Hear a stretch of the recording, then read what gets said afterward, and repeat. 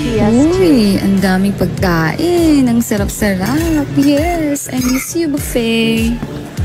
Hala, Mare, di ba meron kang karamdaman? Minimize sa mga kinakain, lalo na sa matatamis at matataba. Kasi di ba sabi mo ayaw mo na maulit yung nahihilo at nangangalay at masakit na likod mo. Naku Mare, lagot na naman tayo sa trabaho niyan. Alam ko, Mare. Pero, ano kasi, itong pagkain, sayang naman, hindi ko matikman. Kumusta na pala ang lagay mo?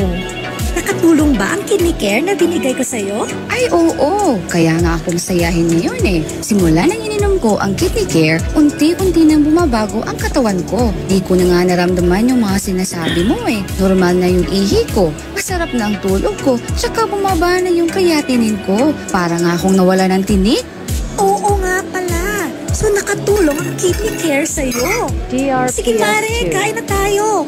Pero, konti lang ha. Kasi may sakit ka na. Yes, Mare. Salamat sa payo. Paminsan-minsan lang naman itong masarap kumain. Kaya tuloy ko lang ang pag-inom ng kidney care.